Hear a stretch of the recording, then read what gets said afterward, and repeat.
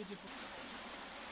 W nocy miało miejsce bardzo dramatyczne zdarzenia w miejscowości Piechowice, ulica e, Przemysłowa. Dostaliśmy zgłoszenie o pożarze budynku wielorodzinnym. Mieszkanie na parterze było objęte ogniem. Na miejsce zdarzenia zadysponowanych zostało 5 jednostek straży pożarnych. Po przyjeździe na miejsce zdarzenia w trakcie działań ewakuowano 14 osób.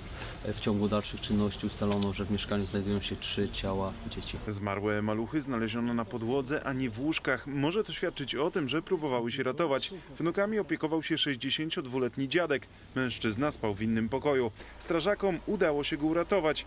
Matki dzieci nie było w domu. Kobieta wróciła, gdy na miejscu trwała już akcja gaśnicza. Na razie nie wiadomo, co wywołało pożar.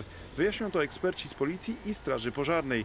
Wiadomo, że mieszkanie było ogrzewane piecem. Jak się dowiedzieliśmy, od kilku dni domownicy nie mieli prądu i rodzina siedziała wieczorami przy świeczkach.